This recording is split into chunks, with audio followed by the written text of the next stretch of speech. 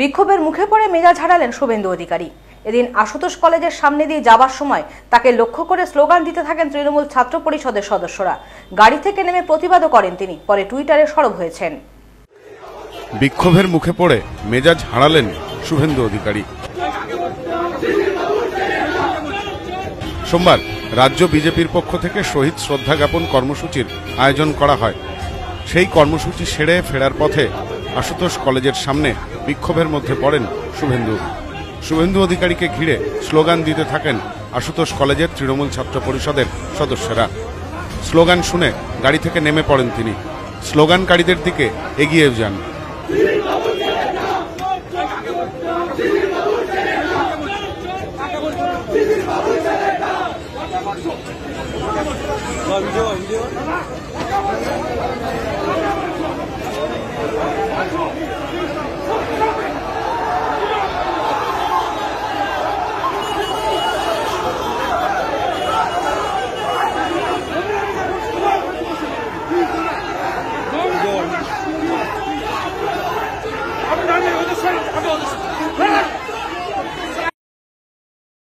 ঘটনায় ছাত্রছাত্রী ও শুভেন্দু অধিকারীর নিরাপত্তা রক্ষীদের মধ্যে ধস্তাধস্তিও হয়। সাময়িক উত্তেজনা ছড়িয়ে পড়ে এলাকায়। খবর পেয়ে ঘটনাস্থলে আসেন বিজেপির কর্মী সমর্থকেরা। এরপর এলাকা ছাড়েন শুভেন্দু। এদিনের ঘটনার পর টুইটারে সরব হয়েছেন শুভেন্দু অধিকারী। এদিনের ঘটনাকে নিয়ে পরপর দুটি টুইট করেছেন শুভেন্দু।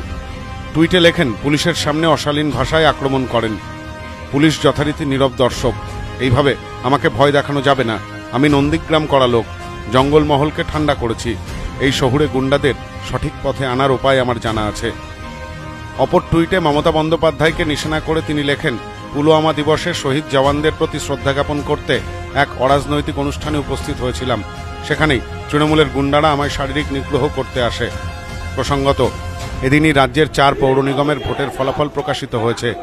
এদিন সকালেই ব্যালট বাক্স খুলতেই বিভিন্ন কেন্দ্র থেকে তৃণমূল প্রার্থীদের এগিয়ে আসার খবর আসতে থাকে।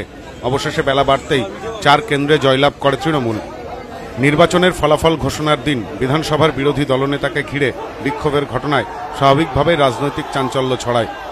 এদিন হাবড়াতেও নির্বাচনী প্রচারে এসে শুভেন্দু অধিকারীর ওপর এই ঘটনার নিন্দা প্রকাশ করেন বিজেপির রাজ্য সভাপতি Sukanta Majumdar.